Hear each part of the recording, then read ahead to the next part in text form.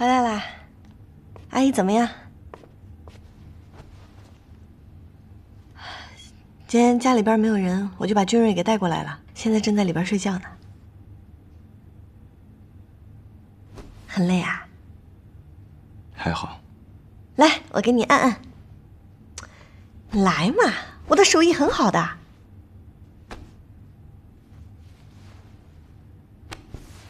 保证一按你就很放松。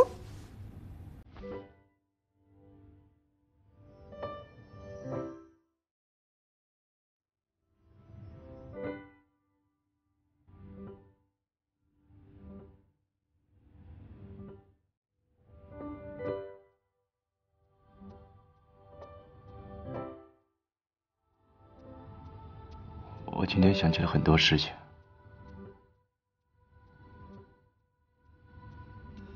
是车祸，当年发生了一场车祸。那天下起了很大的雨，我被撞倒在地上，身上流了很多血。我就看见我的母亲在求那个人，求他救我。可是我想拼命的爬起来，告诉他我还活着。但是怎么动也动不了，看着我母亲跪在那。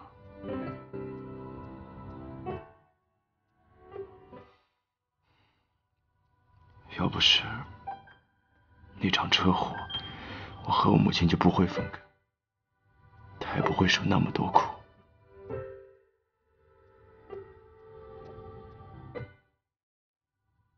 我听说啊。这世界上每个人的喜怒哀乐都是有定量。当你在年轻的时候享受了很多的福，那么你老了之后就会接受很多的苦。可是如果你在年轻的时候接受了很多的苦，那么在老了之后就全都是满满的幸福。那我们呢？是不是受了很多的苦？是啊，我们好苦的。那接下来呢？就是满满的幸福啊！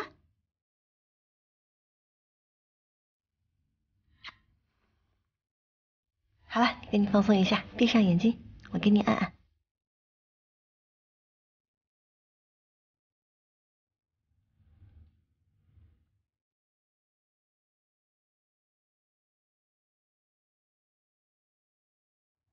金瑞，今天在这儿睡会不会害怕呀？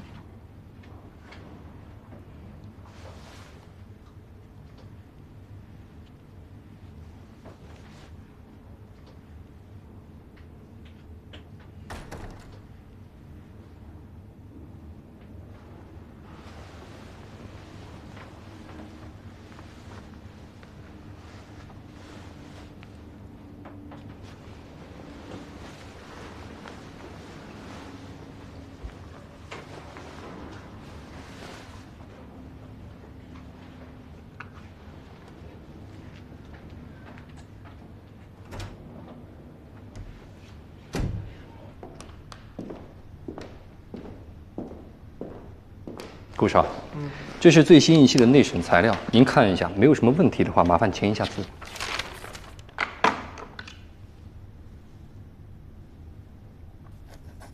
我听说最近韩氏在搞一个什么研发项目？韩氏的研发项目？啊，韩氏的研发项目，我怎么会知道呢？你怎么当秘书的？这点事情你都不知道啊？我这个当秘书的，很多公司内部的事情都未必知道啊，怎么会知道别人公司家的事情呢？我就算是一国元首，也未必会知道韩氏的研发项目吧？嗯，你竟然敢顶撞我？Michael 在的时候，你也是这么没上没下、没大没小吗？呃，关键是总裁也不会问这么无知的问题啊！你竟然敢说我无知？我又没有说错，信不信我马上把你开了？开除我谁给你干活是不是？那么多的文件还有密密麻麻的数字，除了我，你还能信任谁？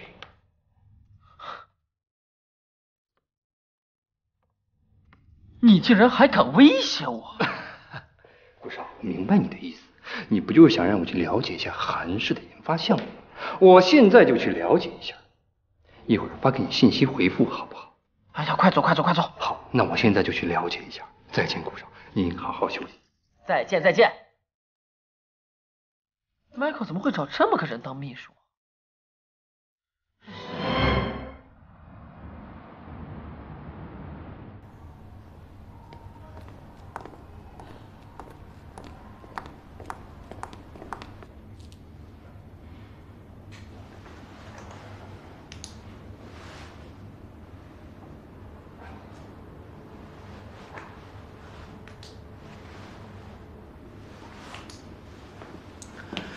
真是一个奇迹啊！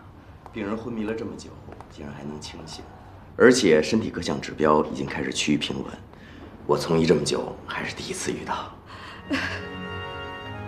可是他只醒过来五分钟，就又睡过去了，没问题吗？没问题，你们不用担心。毕竟病人昏迷了这么久，要彻底清醒还是需要一些时间的。等他下一次再清醒的时候，或许就可以和你们正常的交流了。稍后我再为他做一次详细的检查，啊，恭喜你们了！谢谢医生，谢谢，谢谢你。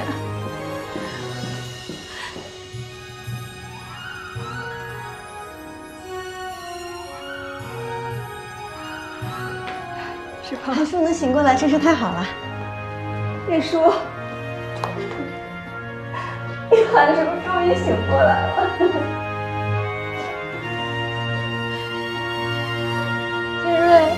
来，快看他爸爸，你爸爸醒过来了。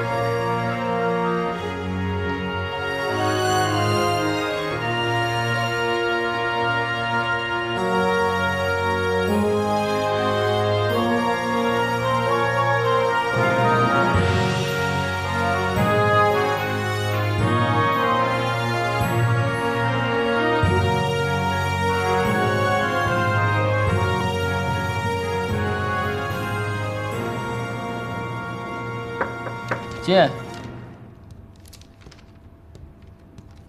顾少，这个是您要的资料。好。